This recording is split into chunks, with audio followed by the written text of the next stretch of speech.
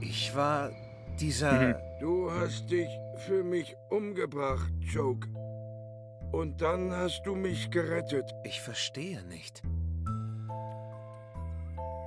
Nicht gestorben. bin ich nicht gestorben. Wie konnte ich mich retten? Wie hättest du das überleben sollen? Du hast dich umgebracht, Choke. Du warst mausetot. Woher weißt du, dass ich Choke bin? Du hast dieselbe Stimme wie damals, als du als junger Mann zurückkehrtest.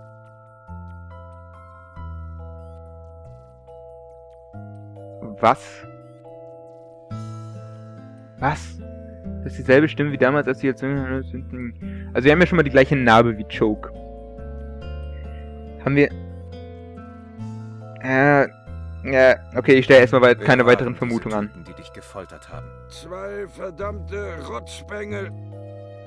Der eine dick, der andere dünn. Der Dicke, der Dünne. Ja, das ist die, die beiden, die kennen wir ja schon. Erzähl mir von dem Dicken. Er erschien aus dem Nichts und hat ein ganzes Magazin auf dich abgefeuert. Der letzte Schuss traf dich voll in die Stirn. Erzähl Okay. mir von dem Dünnen. Henry White. Er schien harmlos, als du anfingst, ihn spaßeshalber zu erschrecken. Aber, aber wer hätte denn ahnen können, dass er ein sadistisches Arschloch ist? Tja. Wie sind wir ins Industriegebiet gekommen? Weißt du nicht mehr? Dorthin bist du jedes Mal zurückgekehrt, um zu sterben. Ich weiß nicht, wieso du immer wieder alles vergisst, wenn du stirbst.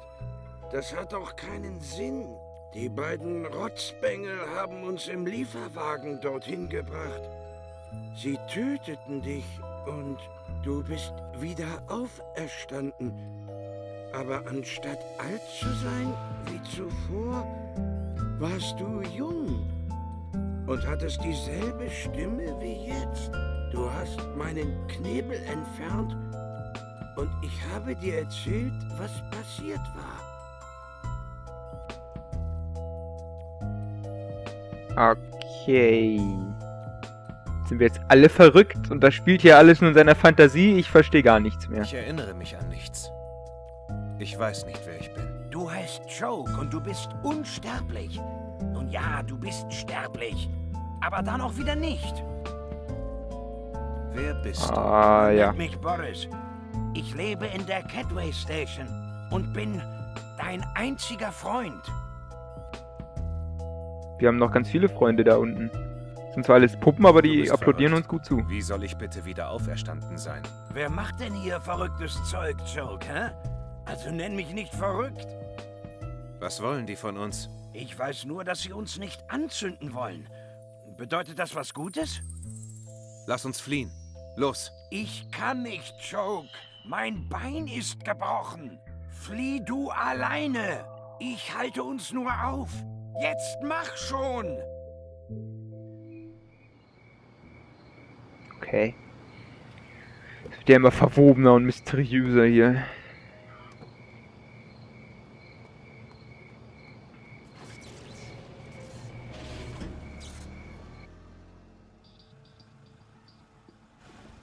Holen wir sie raus.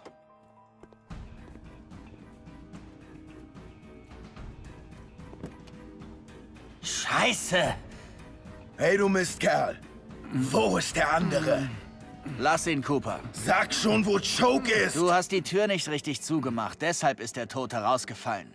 Ich suche ihn. Ich komm mit. Oh nein. Du sollst auf ihn aufpassen. Ich will ihn lebend wiedersehen. Verstanden?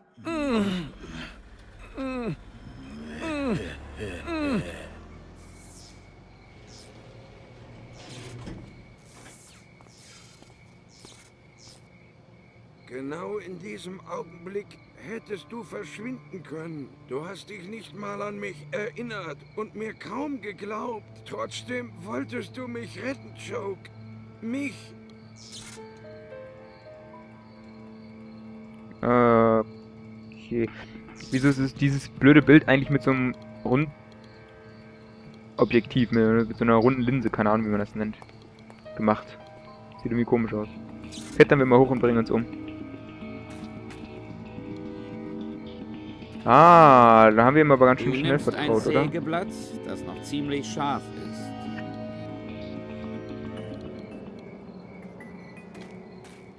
Äh, wenn es jetzt das ist, wofür ich es halte, dann klettern wir darauf.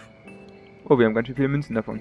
Klettern wir darauf und springen hinter den Zaun, weil wir keinen anderen Weg finden, um da reinzukommen. Bringen uns zwar dabei um, aber wieder auferstehen dann wieder drin. Aber ich meine, dann haben wir ihm ziemlich schnell vertraut, dass wir wiedergeboren werden. Wenn das Logo tiefer in den Stein gemeißelt worden wäre, könntest du dort einen Fuß abstützen, um auf die unterste Leitersprosse zu klettern. Und wie wäre es, wenn wir hier reinsteigen und dann da hochklettern und dann da links rüber springen? Jetzt hier jetzt geschafft. Hä? Du nimmst die Aufmachen. Decke und lüftest ihr Geheimnis.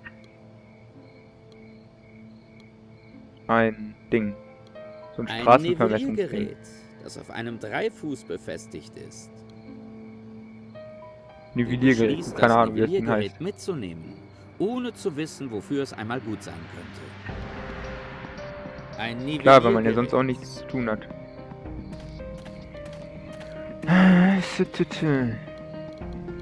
Ne, ich will nicht schon wieder daran. Ein Haufen Aber wir können nur gucken, ob da noch irgendwas ist. Ja, habe ich mir schon gedacht. Gut, dann haben wir hier sonst noch irgendwo... Da ist nichts mehr. Dieser kleine Haufen da. Trotz Toilette oder... Gewichts Gummireifen. beschließt du, die Reifen mitzunehmen. Und wirst nicht langsamer und trägst sie auch nirgendwo an deinem Körper mit dir rum. Also ist es auch nicht schlimm, sie mitzunehmen. Wenn du versuchst, Reinkommen tun wir wohl nicht. elektrischen Zaun zu klettern, bist du ein toter Mann. Wenn du von da oben da reinspringst, auch. So, wo können wir hier noch hingehen? Wir können dahin, da hinten können wir nicht hingehen. Dort drinnen befindet sich Hä? Boris. Und er ist womöglich derjenige, den du am ehesten als deinen Freund bezeichnen kannst. Um die Fabrik Nur weil dir das gesagt zu hat. können, musst du auf die andere Seite des Zauns gelangen. Tja, und ich habe ja schon einen Plan wie, aber erstmal können wir da rechts irgendwie rauslaufen.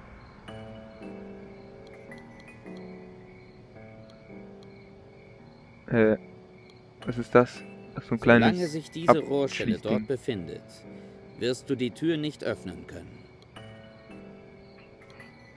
Die müssten wir eigentlich kaputt machen Du können. So versuchst, hart sind die ja die nicht. Schrauben der Rohrschelle mit dem Sägeblatt zu lösen. Aber es ist zu dick dafür.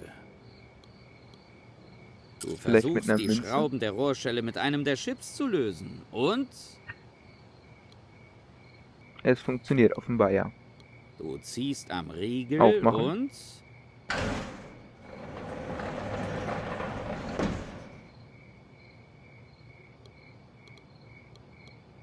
Öffnest einen Waggon voller Kartons, aber nimmst nur das kleine Klebeband mit. Die Rolle ist noch fast unbenutzt. Die Kisten enthalten technisches Material der Firma White Tech. Nach gründlicher Überlegung bist du der Meinung, dass nichts von dem Zeug in diesen Kisten dir von Nutzen sein könnte. Dann hast du aber gut Du überlegt. suchst die Kisten und findest eine Profikamera. Du beschließt, nichts Ich wette, in diesen blöden Kisten ist auch irgendwo ein Seil. Also ein Seil, also so irgendwie ein Stromkabel, ne? Und das könnte man vielleicht mitnehmen, dann da an die Dings, an die, an die Leiter werfen und dann da hochklettern. Aber man nimmt lieber eine Profikamera eine mit. Kamera. Mit Full HD. Super. Äh, haben wir sonst noch was? Vielleicht unten dran? Ne, sieht nicht so aus. Ja, dann müssen wir jetzt wohl irgendwie da an die Leiter kommen, würde ich sagen. Eventuell, indem wir die Du Reifen darüber durchschneiden. nach, die Reifen in kleine Gummifetzen zu verwandeln. Findest aber keinen guten Grund, das in die Tat umzusetzen. Dann eben nicht. Und wenn wir die Reifen Wenn die stapeln, Reifen können wir dann da Luft hoch. gefüllt wären, könntest du sie als Trampolin verwenden, um an die unterste Trittsprosse zu gelangen. Sie sind es nicht. Gut, gut, gut. Was können wir denn hier irgendwie ansatzweise machen? Ein, Nive Eine Decke. Ich habe keinen Plan. Eine Decke. Du weißt nicht, was es dir bringen soll, das zu versiegeln. Etwas versiegeln. Wir können die Kamera versiegeln, Willst was du auch immer das das ein- bringen soll. Du weißt nicht. Offenbar du nicht. weißt. Willst Offenbar du. nicht, offenbar nicht. Nein. Nein. Okay, dann das Klebeband ist wohl total useless. Es sei denn, wir können daraus irgendwie eine Schlinge machen. Nee, können wir nicht. Wieso willst du das auf Video aufnehmen? Ich weiß ehrlich gesagt gar nicht, was ich auf Das Video lässt du aufnehmen will. lieber nicht dort liegen. Och, wieso nicht? Könnten die Entfernung messen, aber das ist wohl eher nicht so wichtig. Vielleicht müssen wir noch mal irgendwas das hier abkleben. Reifen da reinstecken, die Decke da reinstecken. Damit können wir nicht interagieren mit diesen Löchern. Ich habe das Gefühl, wir haben irgendwo noch übersehen. Irgendwie irgendwo, wo wir hingehen können, weil ich weiß ehrlich gesagt nicht, wie diese paar Dinger, die wir jetzt haben, uns großartig weiterbringen sollen. Ich meine, da hinten. Ich guck mal kurz, ob wir hier irgendwie noch. Da vorne war noch was, oder? Okay, wir haben jetzt drei Sachen, also den elektrischen Du siehst Zaun. keinerlei Mechanismus zum Öffnen. Okay. Die Fabrikhalle und das ist der Zaun, ne? Nee. Er steht Zaun? unter Strom. Die roten Lichter und die gelegentlichen Funken sind der Beweis dafür, dass er unter Strom steht. Vielleicht ist mein Plan auch gerade total falsch und wir müssen nur irgendwie anders über den Zaun kommen, zum Beispiel mit Gummi. Reifen als Trampolin zu benutzen, um damit auf die andere Seite zu springen? Nein. Du leidest zwar an Amnesie, aber du bist ja kein Idiot. Ja, aber wir könnten die Gummis zerschneiden und dann als Isolierung benutzen, um da Das hochzuklettern, Klebeband aber vielleicht auch besteht nicht. aus keinem isolierendem Material. Also Gut, gut, gut. Dann wollen wir das halt filmen. Vielleicht wollen wir die Kamera auch aufschneiden. ist, möchtest du trotzdem die Batterien der Kamera nicht verschwenden, indem du es auf Video aufnimmst. Ich habe das Gefühl, die Kamera brauchen wir irgendwie erstmal gar nicht. Was könnten wir hier noch machen? Die Decke scheint auch nicht zu Ein isolieren. Nivelli Die Chips sind total useless. willst du, Na, einwickeln wollten wir hier gar nicht. würdest durch den Strom sterben, bevor das Säge... Du denkst darüber... Hm. Ja, ja, können wir das... Ne, können wir nicht. Können wir das? Du denkst Ne, können darüber... wir nicht. Also alles, was so in meinem Kopf auch nur als annähernd sinnvoller Plan durchgeht, funktioniert hier nicht. Deswegen weiß ich einfach nicht... Er steht unter Strom. Die roten Lichter und die gelegentlichen Funken. Die roten Lichter, sagst du? Können wir die Lichter anwählen? Nee, ne? Hm.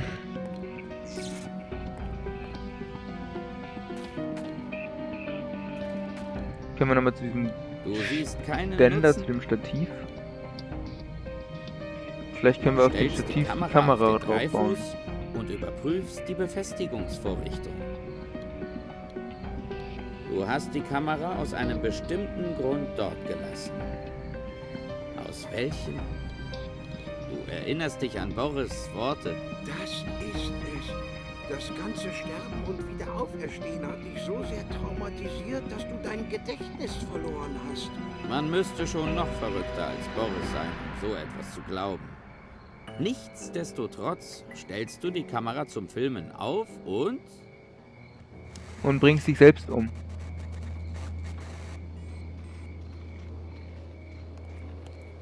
Oder? Bringen wir uns jetzt ernsthaft selbst um? Mein Name ist Choke. Und deiner. Dass du lebst, zeigt, dass ich nicht verrückt bin. Soll ich sagen, wer du bist? Und was das hier bedeutet? Dann hör mir zu. Befreie einen Typen namens Boris, der im Inneren des Lagerhauses. nachdem du deine Nachricht aufgenommen hast, steckst du die Kamera wieder ein. In deine Manteltasche oder wo auch immer du die einsteckst. Gut, jetzt haben wir eine Aufnahme. Toll. Bringt uns also nicht viel weiter. Hm. Hier haben wir auch nichts mehr. Vielleicht können wir... Schließ dich nicht. Okay, also das ist praktisch wegwerfen. Wir die Münzen können wir eigentlich wegwerfen. Okay. Mal wieder so eine blöde Sache. Also habe ich da was übersehen. Äh, ja, geh doch hin, du blöde. Hier ist etwas, was ich übersehen habe. Was könnte ich denn hier übersehen haben? Stacheldraht. Scheint von den Zuggleisen ja. zu stammen. Als du es aufhebst, ein Stück Holz? du fest, dass es sehr dick und widerstandsfähig ist. Okay, dieses Stück Holz hätte ich niemals gefunden. Das, das sah einfach aus wie ein Stück Boden halt. Einfach wie als würdest du das Szenerie halten. Es hat keinen Sinn. Das wirst du. Doch. Ich will damit alles Auch kaputt wenn schlagen. du nicht mehr weißt, wer du bist, ich will alle seine bist Sachen... du garantiert kein gewalttätiger Typ. Du wirst diese Kisten nicht mit der Holzplanke zerschlagen.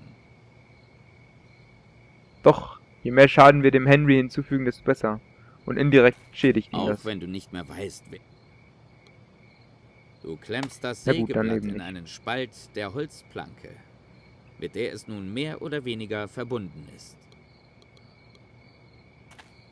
Okay, na dann haben wir doch jetzt eine isolierte Sägeblatt. Ein isoliertes Sägeblatt.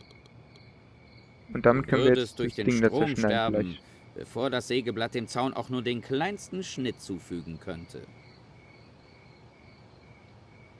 Wow. Seit wann leitet Holz? Das ist mir ein wenig neu.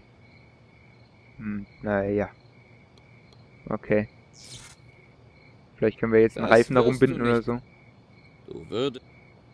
Du würdest... Äh, wieso würde ich durch den Strom sterben? Du würdest... Das Du wirst du wirst, du wirst. Es hat... Du befestigst Äh, eine Holzplanke. äh, Mit, äh, du würdest durch den... ah, okay. Es hat keine... Toll. Jetzt haben wir das also daran befestigt. Was haben wir davon jetzt?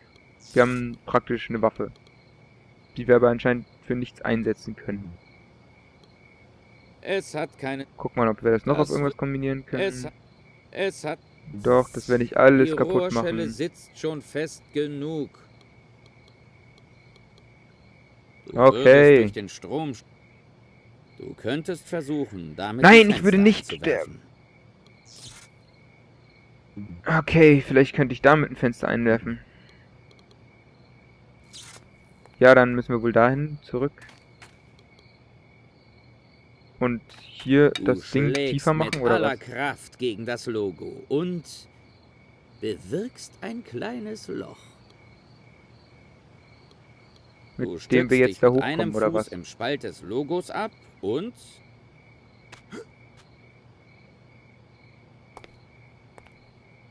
Ach so. Das macht natürlich Sinn. Ach, das ist ein Eimer. Ich dachte eben, das ist eine Maske. Von hier oben sieht das so ein bisschen aus wie eine Maske. Mit dem Auge da die Nase, aber es ist ein Eimer mit Pinsel. samt dem darin befindlichen Pinsel mit. Wenn Gut, du dort hinunterspringst, stirbst du. Was an sich nicht so schlimm ist, da du ja anscheinend wieder auferstehst. Das Schlimme ist, dass du nach deiner Auferstehung nicht mehr wissen wirst, dass du Boris retten willst. Wenn Klar, wir haben das doch auf Video. das Hä, wie, wie, wie, wie? Wieso sollten wir uns daran nicht erinnern? Wir haben es doch aufgenommen. Oder geht die Du Kamera bei dem Sturz Halle kaputt? betreten, um Boris zu retten. Hm. Du glaubst nicht, dass es dir etwas hilft, das anzumalen.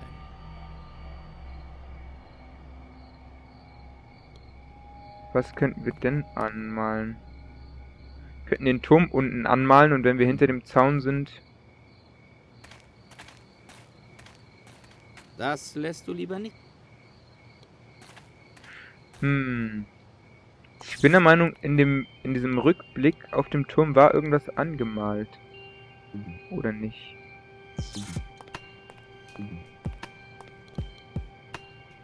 Hm. Sollen wir uns nochmal aufnehmen? Vielleicht irgendwie. Du wirst dich nicht noch... Ah, daneben nicht. Hm, was sollen wir mit der roten Farbe? Kletter nochmal kurz da hoch. Vielleicht haben wir hier oben noch was übersehen. Hier können wir aber nur runtergehen. Können wir den Farbeimer rüberwerfen? Wenn Will du dort springen. hinunterspringst, das Schlimme ist, dass Ja. dass Es du hat keinen willst. Du verschwendest lieber Hm, keine vielleicht können wir Farben. irgendwas Du anmalen. glaubst nicht. Du glaubst... Du könntest etwas auf die Decke malen, siehst aber momentan keinen Sinn darin. Klar, könntest du draufschreiben, guck dir das Video Du an oder so. Du könntest die Kamera in Mano. die Decke einwickeln. Aber du überdenkst es nochmal und beschließt vorher noch etwas anderes zu tun. Die Kamera in die Reifen Du steckst einwickeln. die Kamera in einen der Reifen, um deine Videoaufnahme zu schützen. Du steckst die Kamera Ah, in die okay. Reifen und wickelst die Decke um das Ganze. Auch wenn die Kamera von der wirfen wir das Decke den Reifen geschützt wird, könnte das Päckchen Müssen wir es noch zutapen. Das Päckchen besteht Ja, ja. aus Kamera, Reifen und Decke. Du beschließt, es nicht hinunterzuwerfen. Für den Zeitpunkt, an dem du dich nicht mehr an seinen Inhalt erinnerst, musst du irgendwie deine Aufmerksamkeit darauf lenken. Als du dir Boris Worte in Erinnerung rufst, Weißt du was? Auch wenn du jetzt 30 Jahre jünger bist, ist da doch etwas, das geblieben ist. Die Narbe auf deiner Hand. beschließt du ein Y auf die Decke zu malen. Also wenn wir den Erzähler nicht hätten, dann hätten wir uns schon 30 Mal umgebracht, bevor wir das hier richtig gemacht hätten. Naja, ist ja auch egal, wir haben ja auch unendlich Daumen, viele dass Leben. das Päckchen auf dem Dach landet und